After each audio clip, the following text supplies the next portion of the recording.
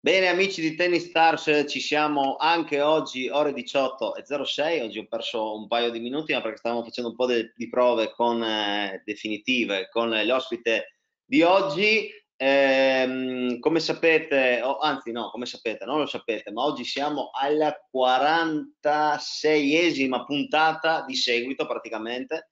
Abbiamo fatto pausa un sabato una domenica e per Pasqua e questo è un progetto che è partito eh, il 16 di marzo, grazie al mio amico Walter, che tra l'altro l'ospite oggi, di oggi, lo conosce perché ci siamo conosciuti a Toirano grazie a Gianfranco Menga. E adesso vi butto subito una foto a Marcord, la trovo così capite anche di chi stiamo parlando, anzi vi, butto un video a Marcord quando, insegna, quando stava insegnando le voglie così. Testa della racchetta, la racchetta quasi orizzontale, gomito attaccato allo stomaco, abbastanza basse di gambe, il gomito fa perno sullo stomaco, non c'è preparazione, la parte della vita di comando è quella inferiore perché devo entrare di taglio. Ok? Perché devo entrare di taglio? E questa cosa qui della, della, della, della, racchetta, della parte sotto che comanda, me la ricordo perché la uso sempre quando anche insegno io la volere, cioè che la parte sotto della racchetta deve avanzare rispetto alla parte superiore. E questo me l'ha detto e ora lo faccio entrare, lo, lo potete vedere anche voi, Omar Camporese. Ciao Omar. Ciao, ciao, ciao, ciao a tutti. Allora, vediamo un po' di partecipanti, eh, se stanno già scrivendo qualcosa. Ciao Franco, salutiamo un po' di persone. Ciao Andrea, ciao Claudia, ciao Giampaolo, ciao Leonardo, ciao Marcello, i soliti eh, gli affezionados mitici come sempre eh, perché c'è ciao Lorenzo, ah grande c'è anche Lorenzo, sono contento, eh, ci sono quelle persone che eh, Omar si sono sorbite tutte queste 46 puntate e sinceramente non so come abbiano fatto, no, a parte scherzi, io li ringrazio perché sono veramente... Eh, Vuol dire che è bella? Sì, sì. Sei bravo, riesci bene, quindi se sono appassionato, bravissimo. Sì, si sono affezionati veramente a, a questo progetto. Io, a, a, grazie a Walter, che tu eh, hai conosciuto il mitico mago magicomico, ehm, e ha detto: Ma perché non intervisti qualche personaggio del mondo del tennis che conosci? Ho detto: boh, vabbè, dai, tiro su un paio di nomi e facciamo. E poi questi paio di nomi si sono eh, moltiplicati come i pani e i pesci. E abbiamo fatto queste puntate e ne farò ancora tante perché eh, ci sono ancora tanti personaggi da da intervistare. Intanto saluto Stefano che è entrato perché eh, questo progetto che è nato poi per diventare un libro che si chiamerà Zero Quarantena, quindi il tennis periodo, nel periodo del Covid, eh, raccoglierà tutte le interviste sotto forma di storia, eh, dovrò crearmi una bella storia e inserire tutte le, le, dritte che abbiamo ricevuto non solo io ma anche chi ha ascoltato queste puntate eh, di questi, di questi personaggi e come ti dicevo, io ho intervistato non solo giocatori, allenatori, ma anche chi fa parte proprio del mondo del tennis, quindi eh, arbitri, eh, incordatori, ingegneri dei materiali, chi fa videoanalisi, chi sviluppa app per la parte mentale, costruttori di campi che dovrò intervistare, chi ha il sito dove si trovano tutti i risultati di tutti i giocatori di tennis. Insomma, scusa, un po' tutto il, il, mondo a 360 gradi del tennis, anche un fotografo del tennis ho intervistato, quindi volevo dare... Tutto quello che c'è intorno praticamente. Anche. Tutto, anche tutto quello che c'è intorno, esatto. E per aiutare Tennis for Africa, che è un'associazione, una onlus che aiuta i bambini in Africa, come donandogli un po' di soldini, di raccolta soldini, ma anche ehm, mandando materiale usato, no? quindi palline, racchette, eccetera, eccetera, e portando anche un po' di formazione per i maestri africani, eh, grazie all'amico Fabrizio Cagliarone, che eh, ho già avvisato che prima o poi, quando si potrà, è una, una mia, un mio sogno è andare in Africa proprio a fare del tennis per i ragazzini. Allora, ehm, Omar, allora, vediamo, io prendo sempre questi 5 minuti iniziali per fare in modo di far entrare tutti i partecipanti, anche i ritardatari, no? Se ogni tanto mi vedrai sparire come telecamera non prendere paura perché essendo un orario abbastanza pieno di internet eh, lascio il, lo spazio a te e lasciamo più banda disponibile eh, a, a, te, no? Io domando sempre a, agli ospiti, come ho fatto con Claudio Pistolesi, c'era anche Vincenzo Santopadre, Paolo Canè, eh, eccetera, eccetera, di raccontarci un po' la storia e l'avvicinamento che hanno avuto con il tennis e quindi un po' la storia, un po', un po la storia da bambini e, e, poi qual è stato quel momento in cui eh, hai pensato eh, ma guarda che forse forse questo, questo gioco diventerà un mestiere e lo faccio in maniera più seria. Vai, ti lascio spazio. Guarda, guarda, io ho cominciato abbastanza tardi perché eh, avevo dieci anni. Eh, un giorno sono andato con mio papà in un circolo a Bologna e lui doveva giocare con un suo amico e e niente, lo sono andato a vedere. Lo sono andato a vedere, alla fine dell'ora eh, gli ho preso la racchetta e con una pallina che aveva ho, ho fatto due o tre colpi al muro. Una volta i circoli erano, erano pieni anche di questi muri, no? Dove, dove, si imparava a giocare a tennis. Ho preso la racchetta, sono andato contro il muro, ho cominciato a giocare e mi è piaciuto subito. Mi è piaciuto subito. Mio padre ovviamente mi ha accontentato mi ha iscritto subito a dei corsi dei, per bambini e da lì è cominciato tutto. Eh, ho avuto la fortuna di essere stato subito, tra virgolette, eh, portato, quindi feci dopo, dopo 4-5 mesi, penso, feci il, il, primo torneo che erano i, i i giochi della gioventù, mi sembra, ehm, in un altro circolo Bologna e iniziò tutta la mia fortuna, nel senso che eh, venne, venne una signora che mi vide e alla fine della partita mi disse perché non vieni alla Virtus Tennis dal maestro Raffaele Spisani? Ci, ci siamo dati appuntamento e mi ricordo che era il il 10 di maggio del 1978, esattamente il, il giorno del compleanno del mio maestro, mi sono fatto vedere da lui. E, ehm, alla fine dei 5 minuti, 10 minuti di, di, palleggio, di prova, chiamiamola così, mi disse oggi penso che sia stato il più bel regalo eh, per il mio compleanno. Quindi questa è un po' la storia di come io ho cominciato a giocare a tennis. Certo, eh, tra l'altro arrivano subito delle domande e Giampaolo dice, hai detto all'inizio, hai detto io ho cominciato un po' tardi, a dieci anni, cioè nel senso dieci anni secondo te è tardi per iniziare? Ma sai, eh, adesso io sono direttore tecnico di una scuola, quindi ci sono dei bambini che cominciano all'età di 5-6 anni, cioè per, per, per, cominciare a prendere la mano, cominciare a capire un pochettino il propedeutico abbiamo bisogno di un'età abbastanza piccola, quindi 5-6 direi che è la cosa fondamentale. 10 anni sono, a differenza dei 5, sono 5-4 anni persi, quindi 5 anni sono tanti. Che però poi eh, hai recuperato, diciamo, con gli interessi. Beh, sai, eh, di fatto detto, la mia fortuna è stata quello che probabilmente ero, ero, ero portato per, per questo sport. Io facevo tutt'altro, io giocavo a pallone, io facevo nuoto, non nuoto agonistico, però facevo nuoto perché eh, allora i dottori o le dottoresse dicevano tu hai un pochettino le scapole alate vai a far piscina. Quindi era solo così, tra virgolette, curativo. Sì, sì, sì, sì, sì.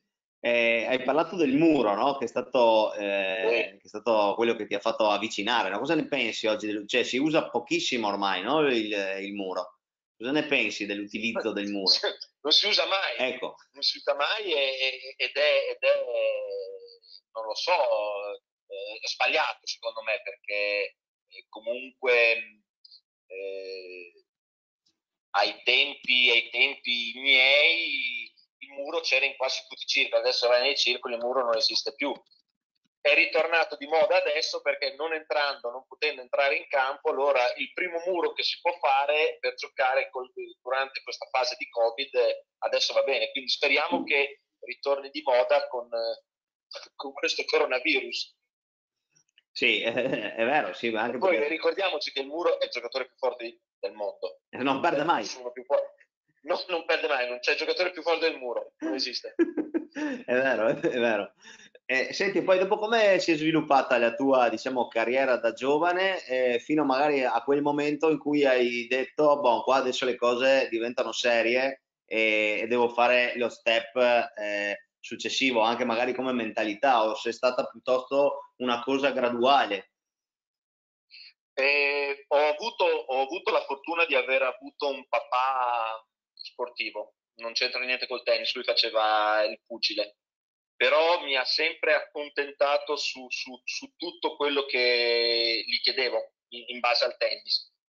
Eh, ma la mia fortuna è, è, aver fatto tutto perché, ripeto, ero, ero, portato, quindi ho cominciato a fare i tornei, under 12, mi ero qualificato per la Lambertenghi, a 13 anni eh, sono stato convocato al college di Alessandria dove era il direttore tecnico era Vittorio Frotta che allora era ancora capitano di Coppa Davis. Ai tempi di Panatta eh, Parazzuti c'era ancora c'era ancora credo Zugarelli credo insomma i, i quattro moschettieri.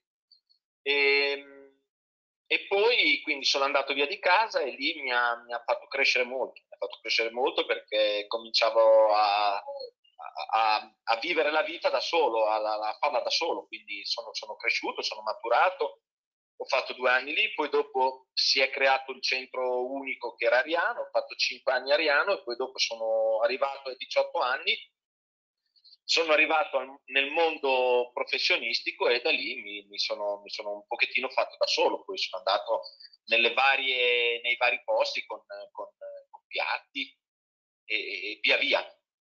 E, eh. e, ho capito di poter giocare a tennis quando, sai, già a livello under 14 cominciavo a essere tra i primi giocatori d'Italia. A 14 anni ero tra i primi, a 16 anni, a 16 anni idem a 17 anni ero già il primo in Italia con un anno d'anticipo. Uh-huh. Quindi là diciamo che hai capito eh, che si poteva... Che era, che era, giusto secondo me provarci. Proseguire, sì. Eh, Lorenzo ti fa subito una domanda interessante che dice era meno, dispendio- era meno dispendioso a livello di spesa di soldi provare a fare il professionista all'epoca rispetto ad oggi, secondo te? Ma io credo che la comparazione sia uguale, cioè voglio dire, era, era, era, molto dispendioso, nel senso io, tra virgolette, ho avuto la fortuna di aver avuto la federazione dietro che mi potesse aiutare dall'età di 13 anni fino ai 18, perché se no io eh, sinceramente non avevo le potenzialità economiche, essendo figlio di due operai non avevo la, la possibilità di, di, di, di, iscrivermi o di pagare una, un entry fee per, per, per, per giocare a tennis, quindi era dispendioso allora come penso che sia anche adesso. Sì, sì. Come anche adesso. Sì, sì, quindi diciamo che la federazione è stato, ha, ha svolto una... Grazie alla federazione che mi ha aiutato. Che ti ha dato, sì, l'opportunità di...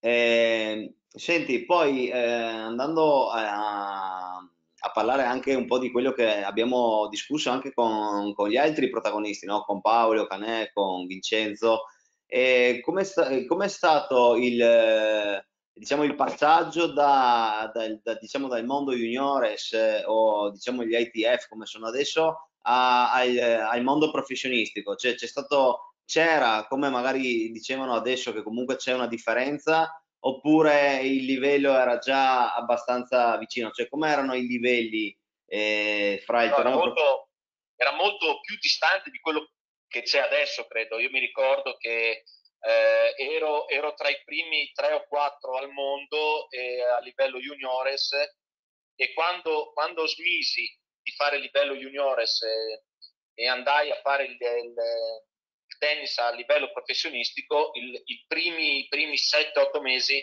non vincevo una partita. E allora nella mia testa cominciavano a venire fuori i problemi, ma come è possibile? Io ero tra i primi giocatori al mondo a livello juniores, come è possibile che non vinca una partita? Mi ricordo ancora una, una, telefonata del mio povero papà che mi disse, oh Marco, ma com'è possibile? Dico, papà, non lo so, guarda, io eh, magari stasera vado a letto così, domani mi alzo in un'altra maniera e comincio a vincere. È successo, eh, ho cominciato a vincere alcune partite, da lì ho cominciato a fare subito, eh, a, 18, 19 anni ero già stato convocato in Coppa Davis, a 19 mi sembra o anche a 20 avevo cominciato a fare quarti di finale a, a Roma, avevo sì. battuto, cominciavo a vincere con, primi, con dei giocatori che erano nei primi 10 come, come, come Milo Messir che ho battuto sia a Milano che, che a Roma e da lì è venuto fuori tutto. Sì, eh, si, cioè, si, diceva anche nelle altre interviste come magari anche dei ragazzi giovani italiani magari hanno vinto Wimbledon a livello juniores, eccetera, eccetera, e poi invece nel passaggio pro si sono, si sono persi, no? Eh... Sì, si dice sempre meglio perdere da juniores che vincere, perché io mi ricordo che c'era un giocatore australiano che si chiamava Mark Kratzman, che a livello juniores credo che abbia fatto il grande slam oppure ne abbia vinti 3 su 4. Eh, a livello professionistico non, non, non, credo che abbia, sia durato un anno, poi non, non ha più giocato. Sì, chissà, chissà, come mai questa cosa, perché è ricorrente, no? Eh, succede spesso. Eh, eh, succede, succede spesso. è difficile trovare eh, giocatori che vincono a livello juniores e che poi dopo eh, arrivano anche a livello, vabbè, eh, bisogna togliere i fenomeni perché Lender, Noah, Bong, sì. Carson, questi qui hanno vinto anche a livello juniores, però insomma, dico anche Claudio Pistolesi è stato campione del mondo, però si poteva sperare un qualcosa di più di Claudio, insomma, che, che 70, poteva fare qualcosa di più. Mm-hmm. Narciso ha vinto Wimbledon, anche lui è arrivato a 70. Io non ho vinto niente di questo e sono arrivato a 18 e sono arrivato di solito perché ho avuto il problema al braccio, se no potevo andare ancora più avanti.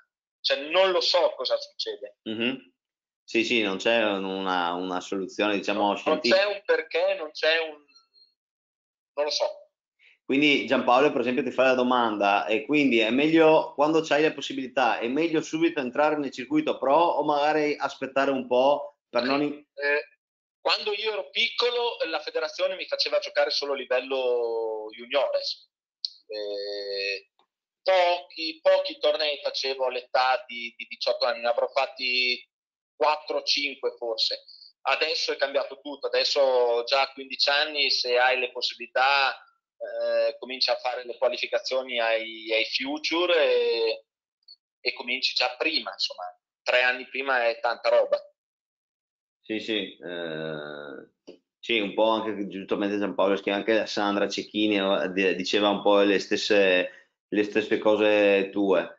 E ehm, in quel periodo che, sempre una domanda, di, no, questa è una domanda di Marcello, e ti chiede, in quel periodo che hai detto che hai fatto sette mesi di, che non vincevi una partita, no?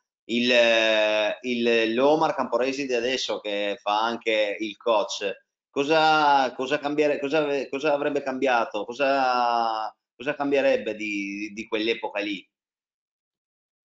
Cioè tu mi stai chiedendo cosa ho fatto in quei sette mesi sì, Per, per, per, non aver perso sette mesi? No, nel senso cosa, cioè adesso che sai che magari hai più esperienza eccetera, se, se potessi tornare indietro cosa no, è, è, una cosa, è, è, un gioco che tu devi pagare, nel senso, nel senso che non puoi paragonare il tennis juniores a quello professionistico, sono due mondi completamente diversi e devi essere eh, cosciente e soprattutto intelligente a capire che ti devi comportare in un'altra maniera.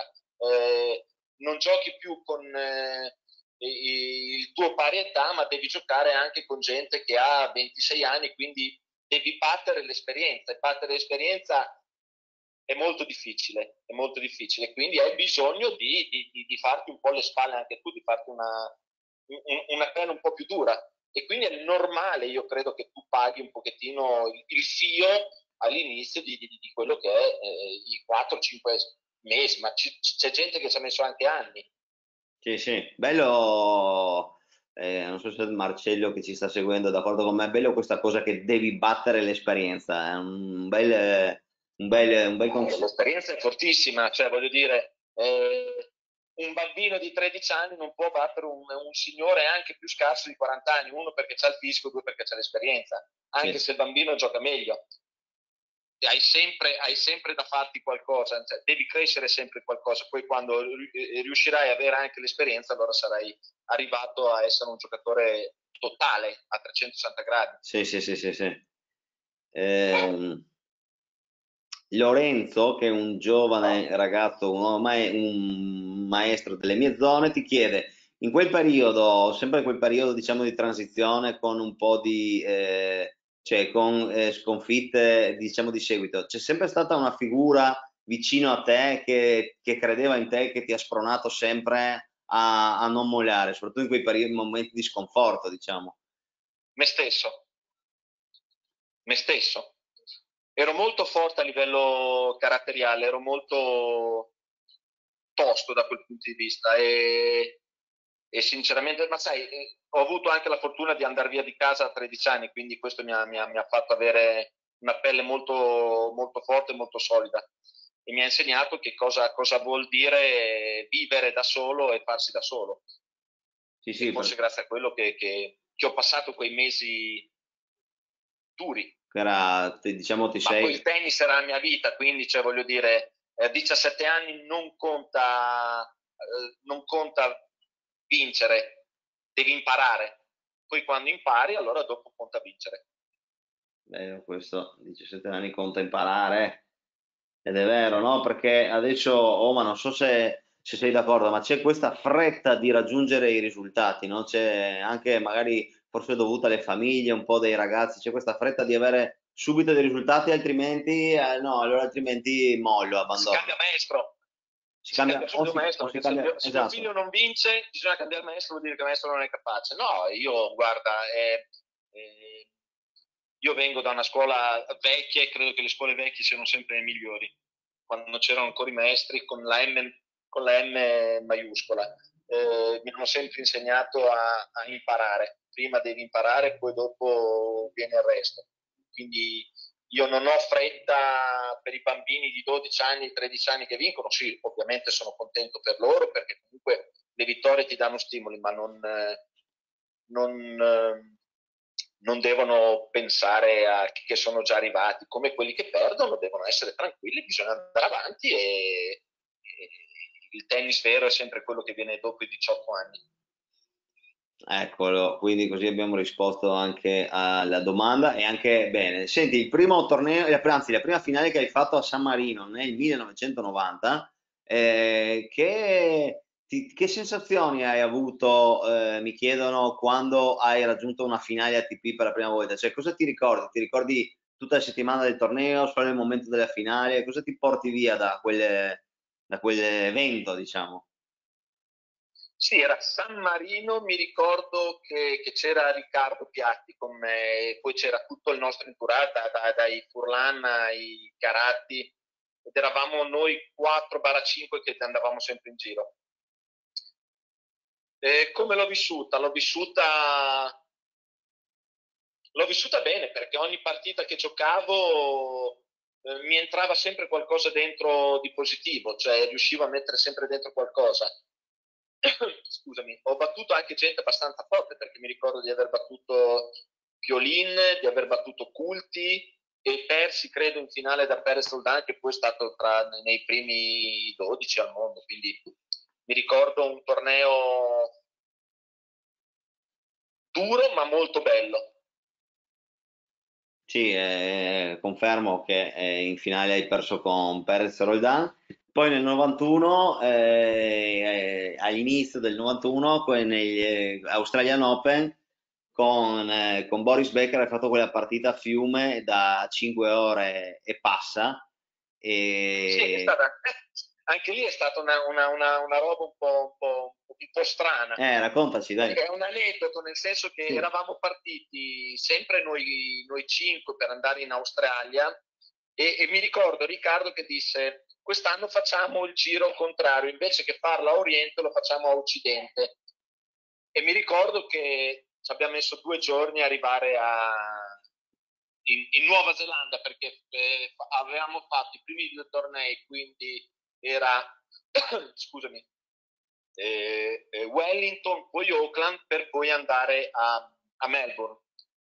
E mi ricordo che quando siamo arrivati a Wellington eh, c'era un tempo un po', un po' anormale, se si può dire. Mi ricordo che ci stavamo allenando sul campo centrale, io e Caratti, e, e sinceramente mi sono, è la prima volta che mi sono sentito, non, non lo posso dire, ma inizia con la M. E, ehm, insomma, stavo servendo, ho lanciato la palla e l'ho lisciata perché c'era un vento pazzesco. e io, a, per il mio gioco, il vento è sempre stata la mia bestia nera. E allora mi ricordo che tranquillamente misi via la racchetta e Riccardo mi disse: Ma cosa stai facendo? Dico, potresti accompagnarmi in albergo per favore? E fa, perché scusami, adesso vieni qua e ti alleni. No, no, mi accompagni in albergo che preparo la roba e riparto, vado a casa perché io così non, riesco a giocare. e da lì poi mi è stato vicino, mi ha, mi ha detto come dovevo fare. mi ricordo che feci semifinale lì, poi andai a, andammo a Oakland, feci quarti finale, poi venne fuori questa mega partita negli ottavi, mi sembra, di finale con, sì, con Becker. Sì.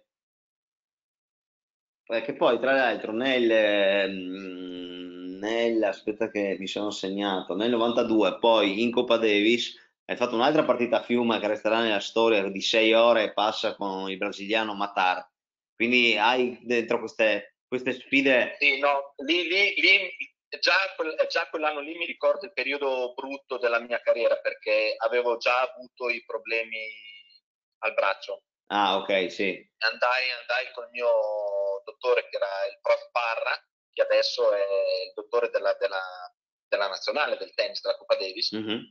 E ogni volta che giocavo, alla fine mi faceva sempre questa, questa laser terapia. Uh-huh. mi ricordo, mi ricordo, mi ricordo tutta la, tutta la, la, le vicissitudini di, di Massaio. E giocò prima, no, giocai prima io il primo singolare e e abbiamo giocato nel pomeriggio del venerdì perché durante tutta la mattinata del, del venerdì mattina eh, era, era piovuto, quindi abbiamo cominciato in ritardo e giocai, ho giocato sì sei ore qualcosa, mi sembra una roba del però c'erano ancora i dieci minuti di, di, di stop tra il terzo e il quarto set e uh-huh. mi ricordo che è stato, è stato, l'inferno, proprio l'inferno, non lo auguro a nessuno. Ogni, ogni punto c'era questa torsida brasiliana dove o, o, ti strombettava o ti faceva qualcosa, cantava. Proprio l'inferno. Poi arrivavano scarpe, ciabatte. Mi ricordo questo stadio creato sulla spiaggia, proprio vicino al mare, che è anche crollato oltretutto. Meno male che non ci sono state eh, disgrazie, però è stata una roba, una roba allucinante, quindi tra, tra, tra, la trasferta e il mio braccio è stata una roba qua, ovviamente perché qua, qua, ci sono, qua ci sono due domande, una di Marcello e una di Andrea. Allora, quella di Marcello è la leggenda narra che i brasiliani bagnarono il campo ininterrottamente dal giorno prima per renderlo più lento, verità o leggenda? era talmente umido che era bagnato già di suo perché comunque già giocavamo sulla spiaggia. Poi è normale, è normale che potevano anche farlo, ognuno in casa propria può fare quello che vuole, però insomma io con Matara ho vinto. Eh sì. Non, eh, non, non, era cambiato niente, insomma. No, ma ci avevo già giocato altre volte con Luis, ma ci ho eh. sempre vinto. Ma anzi, lo battei anche eh, quando ero under 18, che mi ricordo che feci la semifinale al torneo Bonfiglio e subito dopo Bonfiglio c'erano le qualificazioni di, del Foro Italico. Uh-huh. Mi ricordo di averlo battuto in qualificazioni al penultimo turno. Senti, invece Andrea ti chiede, eh, visto che si parlava prima della partita con, eh, con Becker di 5 ore e questa di 6 ore, come si fa a rimanere anche a livello mentale eh, attaccati sul pezzo in eh, tan- tante ore, anche perché magari all'epoca la figura del, come adesso sta prendendo piede del mental coach, eh, diciamo non c'era o, o era vista insomma a livelli marginali. Come si fa in questi incontri? 8 ore, 8, 8 barra 8 ore di allenamento tutti i giorni. Ci, ci riescono tutti. e quando sai, quando sei cosciente di avere 8 ore e mezzo di allenamento quotidiano, riesci a, a superare tutti i problemi. Riesci a superare, io mi iscrivo perché poi dopo devo fare gli articoli. Ehm, ecco, quindi il lavoro eh, sicuramente il lavoro anche a livello di... Ha sempre pagato. Ha sempre pagato, esatto. Questo dice Giampaolo, dice anche, anche Vilas la pensava così sul discorso del, del lavoro. Senti, tu hai, tornando sempre nel 91, no? dopo aver giocato con Becker a Rotterdam, arriva quella famosa partita con, eh, con Ivan Lendl. E, mh, qual, è stata, qual, è stata, la sensazione di, di, di, di, vincere contro uno dei mostri sacri de, dell'epoca, e non solo dell'epoca, cioè di quell'anno, ma di quel periodo? Di solito, di, solito, i giocatori eh, acquisiscono fiducia nel momento in cui si vince la partita, giustamente, no? Io invece ho capito dopo la partita con, con Becker, con tutto quello che mi è successo, comunque di aver acquisito fiducia e consapevolezza dei miei mezzi. E, e, e, vedendo, e vedendo, che comunque eh, vari giocatori come a livello di, di Messieri, insomma di, di, di, altri, dei primi dieci, e riuscire a giocarmela alla pari, anzi, eh, ho perso la partita con Becker avendo fatto più punti, quindi è, è, è incredibile anche questo Beh, da lì ho capito che me la potevo giocare benissimo. Fatto sta che credo dopo, dopo l'Australia con Becker, due settimane dopo ci rincontrammo un'altra volta in Coppa Davis a Dortmund, dove lì persi di nuovo in 5-7. Lui divenne numero uno al mondo, sì. quindi mi deve, mi deve, ringraziare per tutta la vita. sì. E poi due settimane dopo ci siamo vinse il torneo. Eh, giocammo a Dortmund, sì, e persi sempre in 5-7. Lì però ci fu un piccolo, un piccolo furto da parte della, non sua, eh, de, insomma, de, dell'arbitraggio. Infatti, per la prima volta nella storia del tennis cambiarono i giudici di sedia. Ah. Mi ricordo, vincevo 2-7-0, ho avuto la palla break nel terzo set e, e ci fu un let call e quindi abbiamo dovuto rifare il punto, ma una roba... Ogni tanto me la guardo e mi incazza ancora quando, quando me la rivedo e, e salto, ma, ma, ma mando avanti perché non voglio vederla, perché mi piange il cuore. Senti, però dopo che hai vinto quel torneo in finale con eh, Ivan... Ah eh... sì, poi dopo è venuto Rotterdam e eh. Rotterdam comunque... Eh, ero, ero, ero, consapevole di come stavo giocando, stavo veramente giocando bene, me la stavo giocando con i primi giocatori al mondo, quindi poteva essere Len, poteva essere Edber, poteva essere Becker, perché i primi tre erano, erano loro in quel momento e, e, quindi sapevo di potermela giocare, anche se ovviamente l'esperienza di Lendl aver eh, giocare finali era nettamente superiore alla mia, perché lui ne aveva, ne aveva già giocate a miliardi, io ne avevo giocate due, perché quella di San Marino è quella quindi era il, il famoso Davide contro Golia, e invece, invece no, invece ogni volta che si giocava il punto vedevo che gli stavo vicino, vedevo che lo, lo superavo anche e quindi eh, bisognava andare avanti. Mm-hmm. Ma ci sono un paio di, di, domande, Omar, che ti faccio in sequenza. Allora, uno ti chiede se hai mai giocato contro Agassi. Solo, solo in esibizione. Eh, mi ricordo di aver giocato con Andrea solo al, a Milano si faceva il torneo del shootout, quello dei sì, tie break, sì. e ci ho giocato solo lì. Solo e lì. poi ovviamente incontro in doppio, ma, ma, mai in singolo. Io facevo un pochettino la stagione europea, lui faceva di più la stagione americana. americana. Poi eh, adesso hai detto, hai parlato di Lendl, Becker, Edberg. Eh, Mario chiede, potrebbe essere una sorta di eh, Novak, Roger e Raffa come paragone, cioè dei tre guru o, o vedi... Sì, sì, nel senso che, nel senso che, nel senso sì, da quel punto di vista.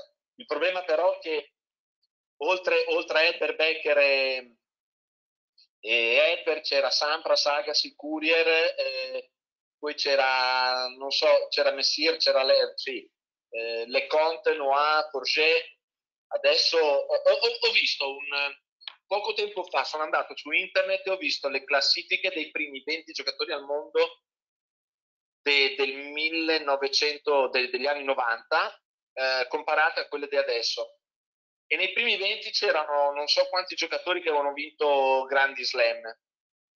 Io ho visto quelle da adesso dove vedo Battista Gut, eh, eh, Carreno Busta e, e, e sinceramente mi viene da ridere.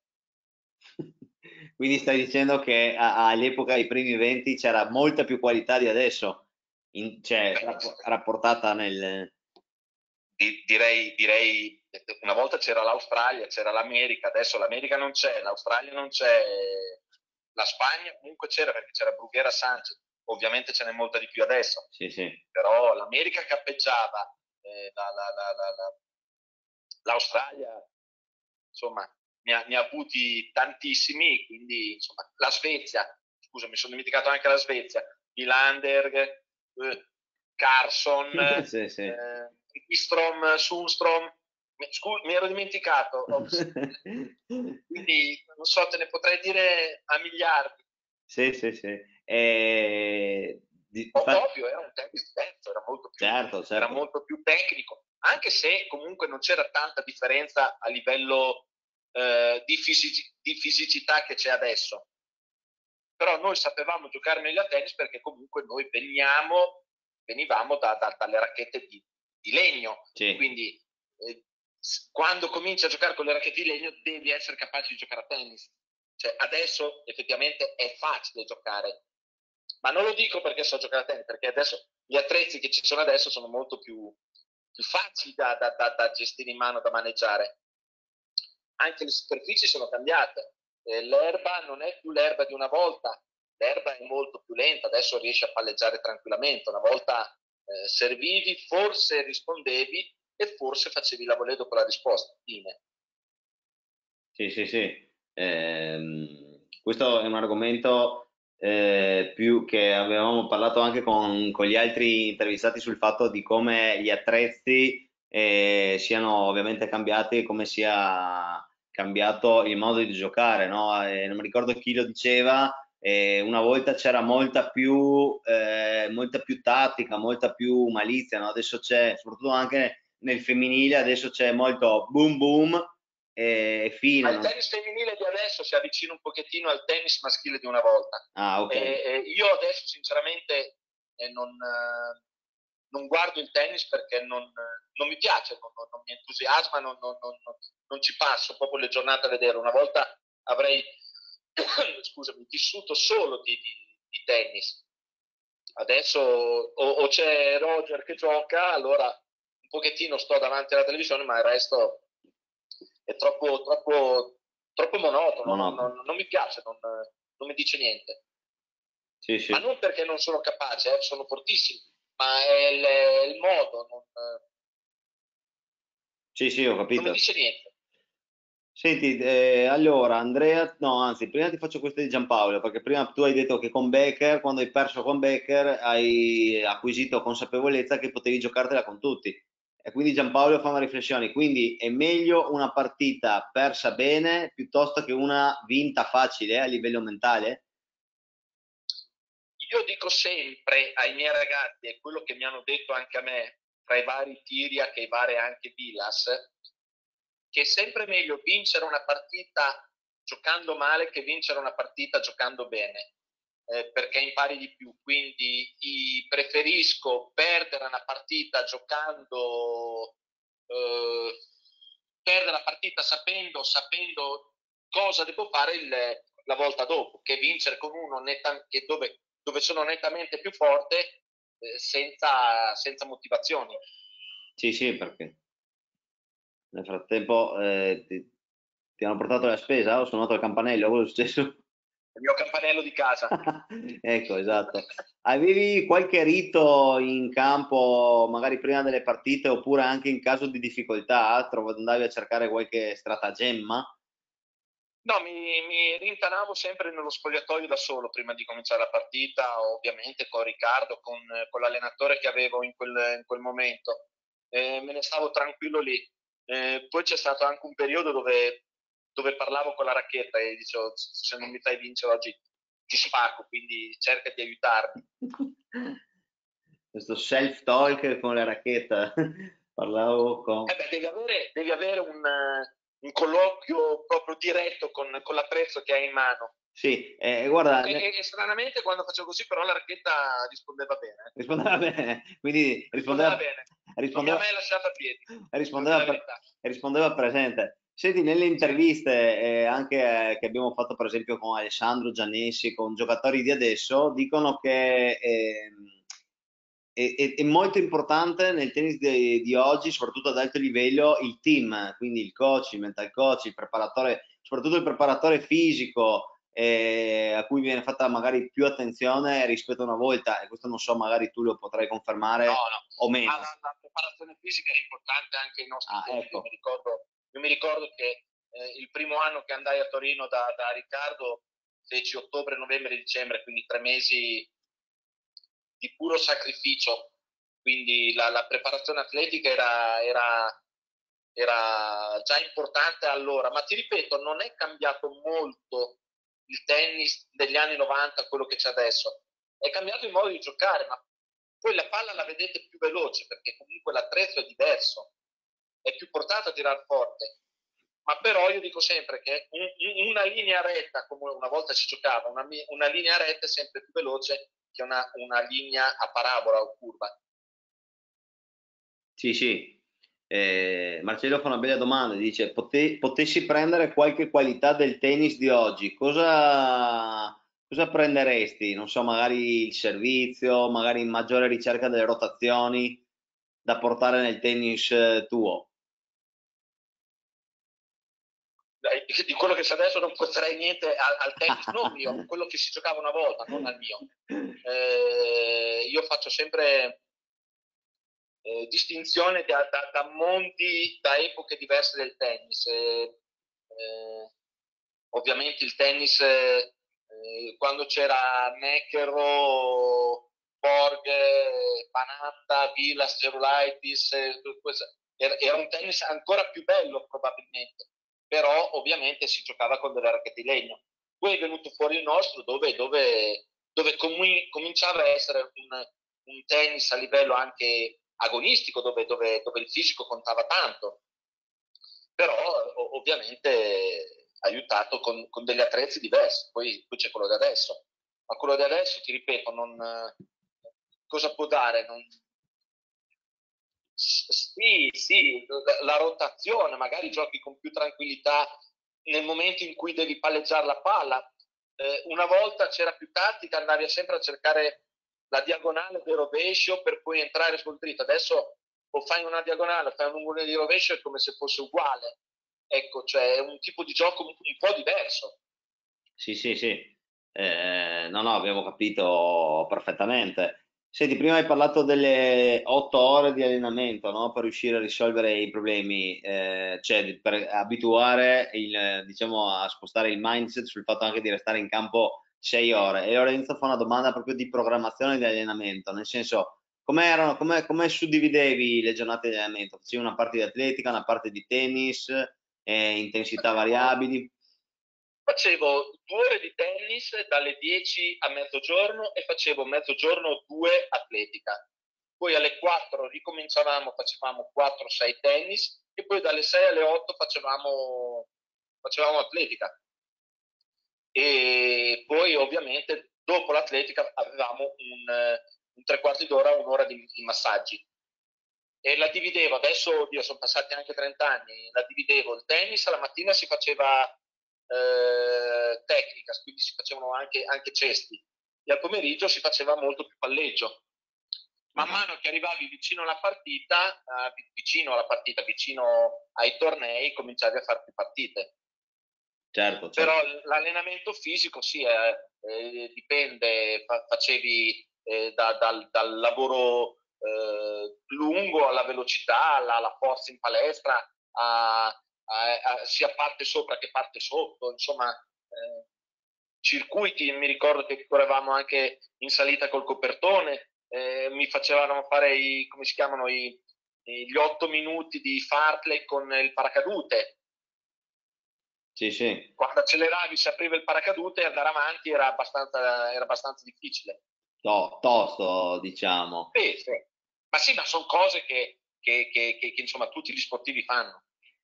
Marcello ti chiede, c'è un giocatore che più di altri è stato il precursore del tennis odierno, secondo te?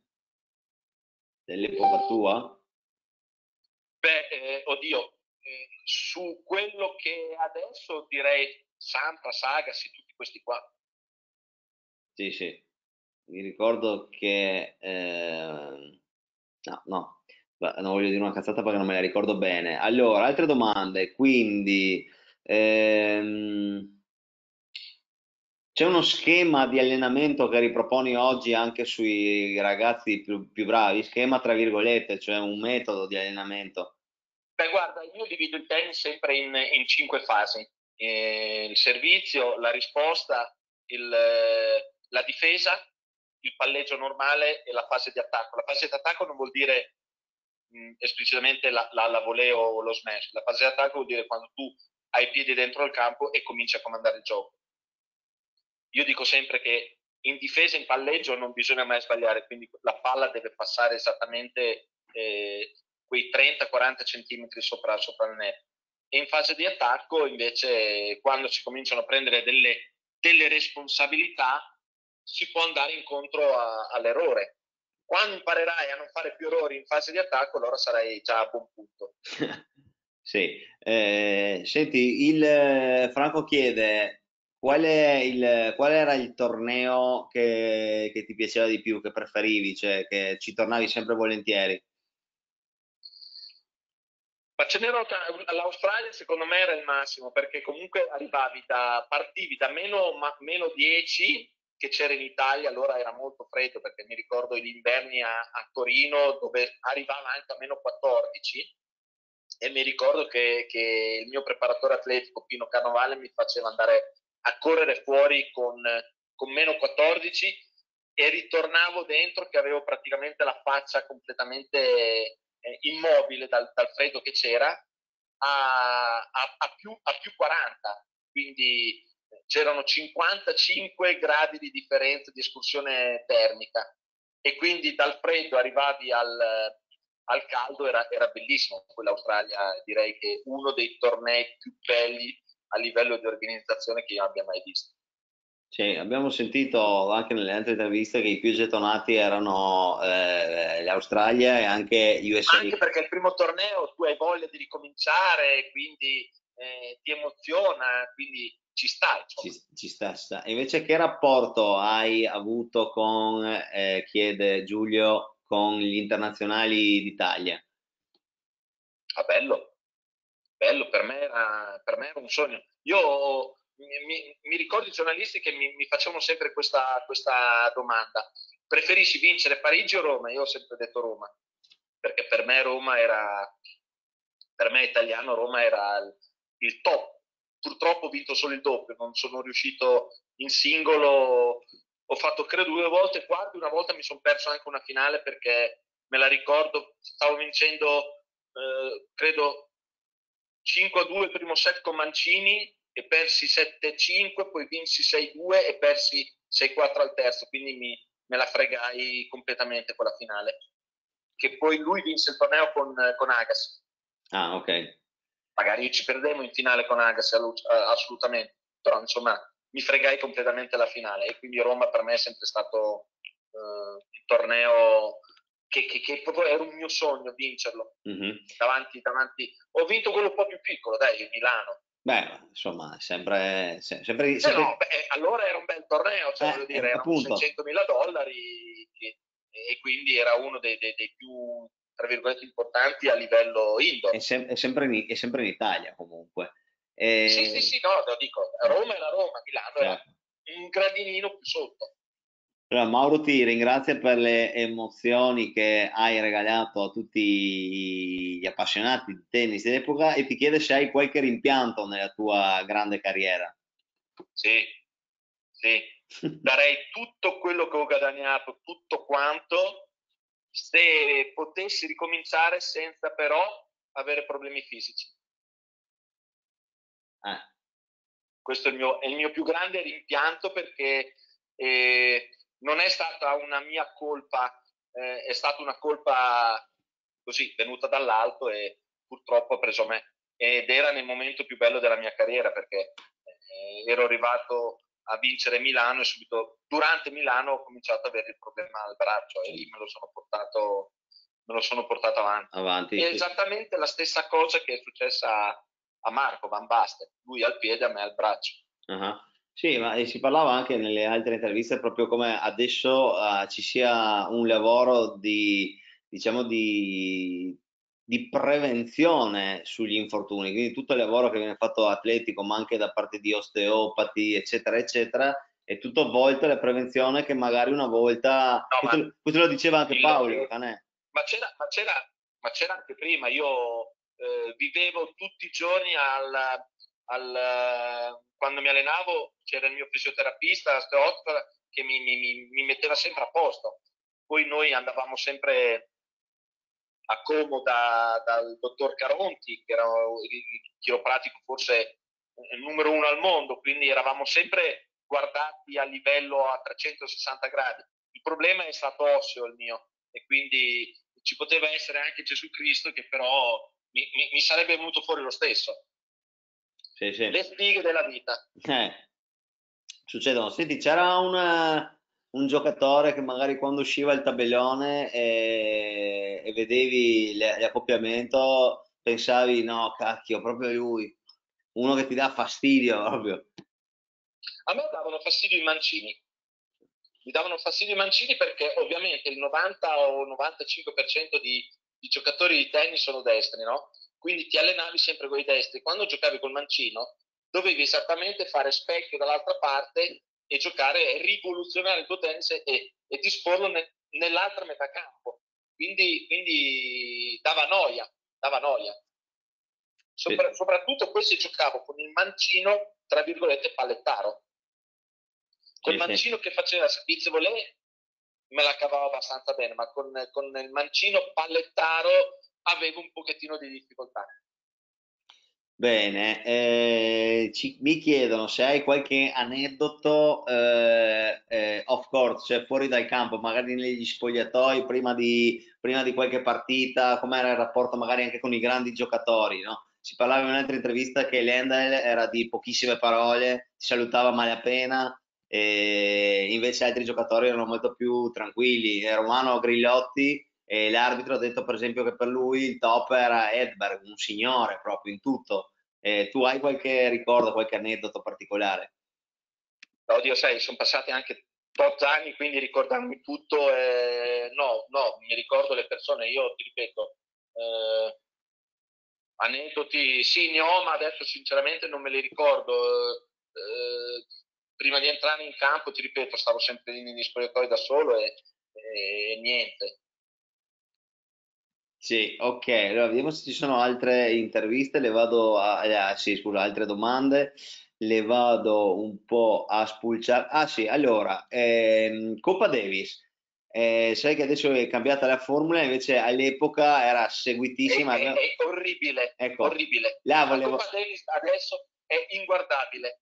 Là volevo arrivare, cioè mi chiedono, avete fatto battaglie incredibili e memorabili e ricordate da tutti. Anche Ma quelle... quale cosa più bella per un italiano, ok? Stare davanti al televisore il venerdì, il sabato e la domenica a tifare per la propria nazione. Se sono riusciti a togliere anche questo. Hanno fatto diventare la Coppa Davis come un torneino, un torneino no, un torneo uguale a altri. La Coppa Davis è la Coppa Davis. Io sono tifoso italiano e me la voglio godere dal venerdì, il sabato e la domenica eh, ho intravisto una partita dell'Italia, forse con gli Stati Uniti, alle 3 della mattina. È assurdo. Assurdo. Pubblico zero. Sì, sì, è vero, sì, sì. Che poi tra l'altro hanno fatto anche quelle, quelle ATP Cup, che è una cosa quasi simile, quindi no, cioè, non lo so, buh, eh, che hanno fatto quella competizione a squadre dell'ATP. No, non ne ho idea per quale motivo. Sì, no, questo è un po' così incapibile. Sì, in effetti è vero. No, cioè... Dicono perché ci sono troppi tornei, quindi i, i giocatori, per, perché, cioè, voglio dire, eh, con quello che guadagnano, anche se fanno tre o quattro settimane per la Coppa Davis, eh, è il minimo. Ma non credo che sia per quello. Ma io non do la colpa ai giocatori, do, do, do, non so chi l'ha inventato, non so chi, ma è una roba, almeno per me, improponibile. Sì. Allora, io ti farei anche l'ultima domanda che è interessante, poi ti lascio, visto che siamo, abbiamo fatto l'oretta assieme.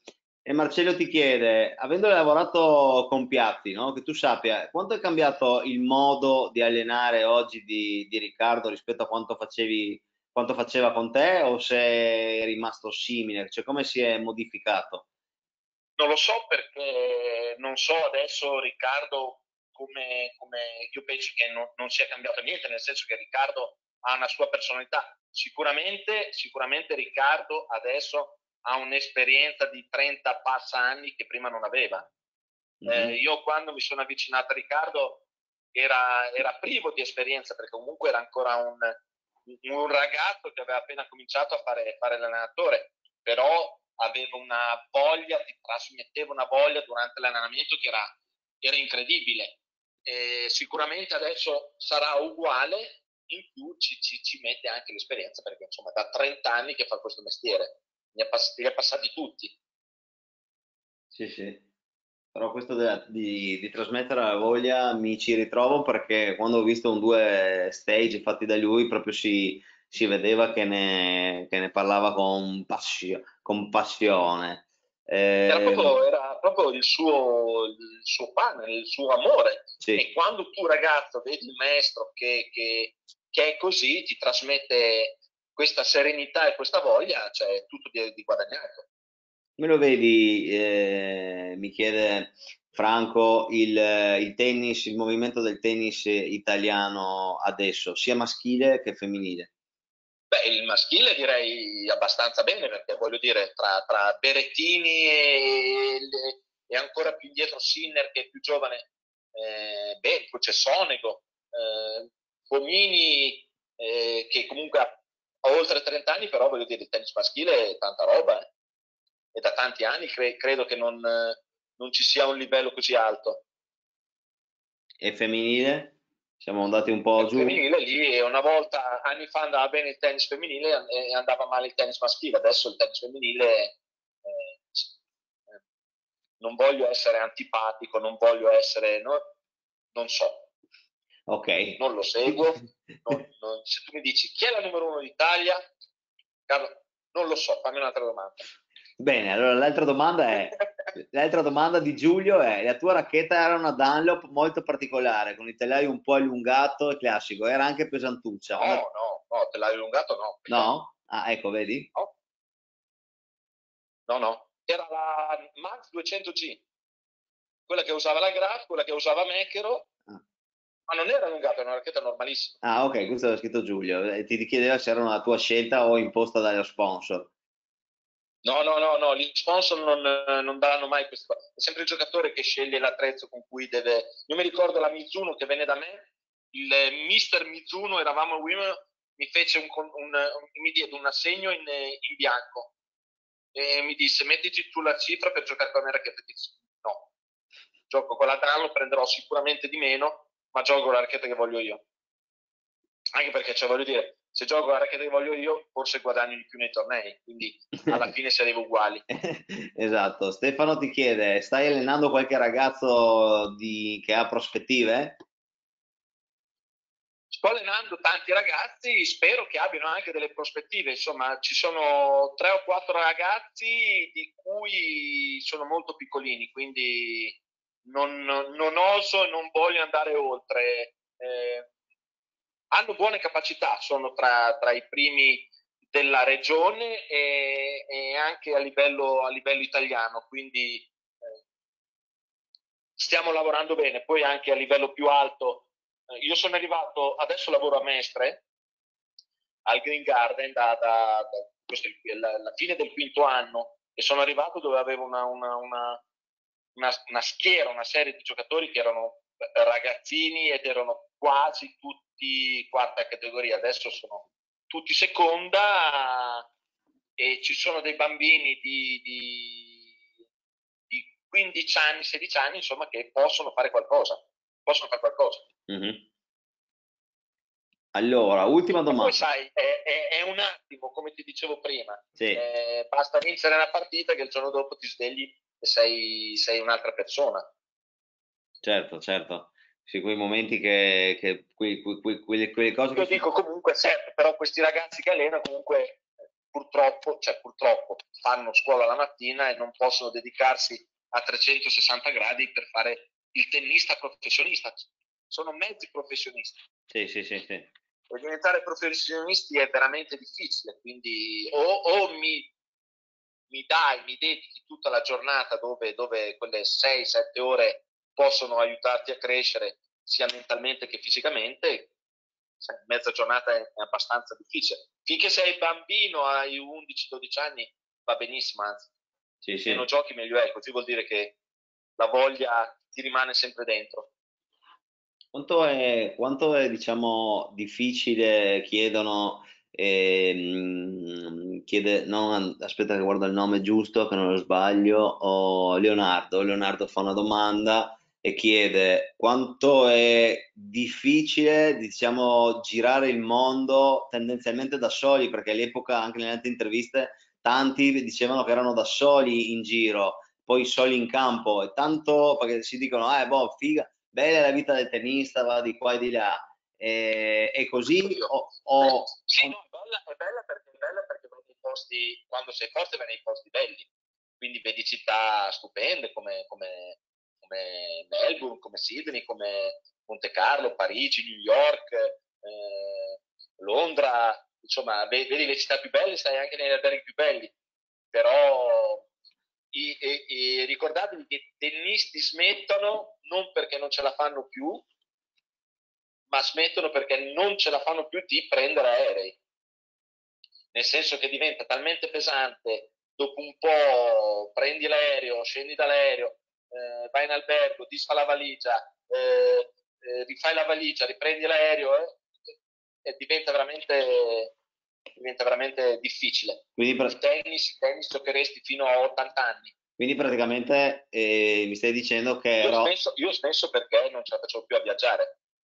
Quindi praticamente ci stai dicendo che Roger non, ancora, non si è ancora stancato di girare in aereo praticamente. Roger, Roger che fatica fa? Fa zero fatica quando gioca a tennis lui, la fanno gli altri quando giocano contro di lui.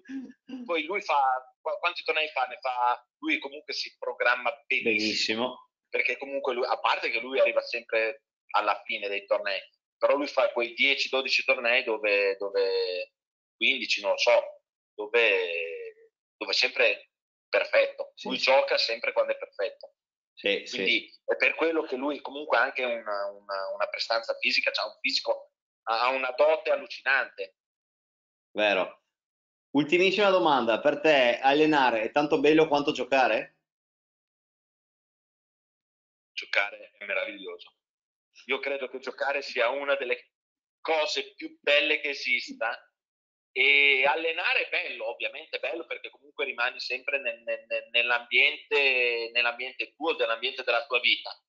Però è anche, allenare è molto più dispendioso perché quando vedi il tuo ragazzo che gioca non sai mai quello che succede, cioè non è come quando eri in campo tu che sai, sapevi benissimo come andavano le cose. Mm-hmm. Quando è in campo il tuo ragazzo non sai mai come vanno le cose perché ovviamente lui ha un'altra testa e quindi sei un po' più agitato, ecco, al di fuori sei molto agitato. Quindi adesso io capisco quando mio papà e mia mamma mi venivano a vedere a giocare a tennis e, e man- si mangiavano sempre le unghie, adesso capisco il perché. Ed erano agitati. Omar, io ti ringrazio per questa chiacchierata, è stata come sempre bellissima, ringrazio anche tutte le persone che hanno seguito e che hanno fatto le domande, che praticamente hanno condotto l'intervista. Ti ringraziano Lorenzo, Marcello, Leonardo, Mauro, Renzo, c'è anche Renzo che ho intervistato ieri, Stefano. Ehm, ecco, eh, chiudo con la domanda che Renzo che ho intervistato ieri, si parlava di, di Valori, mi ha detto fagli, lasciali questa domanda qui, che eh, cosa ti è quel quid che ti è mancato per invece di essere, non so, 18 al mondo, arrivare ai primi 10? No, ma te l'ho detto, il problema la sfiga del braccio. In quel periodo ero proprio eh, programmato per arrivare nei primi giocatori al mondo e ci stavo riuscendo. Mi ricordo che in 4-5 mesi avevo perso 3 o 4 partite e avevo perso quell'anno, ho perso, credo, eh, 11 volte dal vincitore del torneo. Quindi ho avuto anche un po' di sfortune a livello, a livello di, di, di sorteggio del torneo, ma ero programmato per arrivare nei primi, nei primi dieci. Sicuro, assolutamente sì.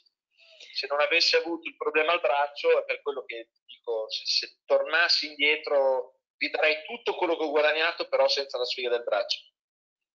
Bene, E grazie Omar veramente di questa, Grazie di questa chiacchierata. Grazie, chiacchierata. Grazie a tutti quelli che ci hanno seguito. Tra l'altro Claudio mi ha detto salutamelo, eh, Claudio Pistolesi, che, lo senti, sì, perché lo sentirò nei prossimi giorni. E noi ci vediamo domani alle 18, intervisterò Luca Mariano Antoni che è un giornalista e scrittore della Gazzetta dello Sport, quindi parleremo anche di libri lui ha scritto 150 volte Slam, un libro sui tennis del passato e di adesso.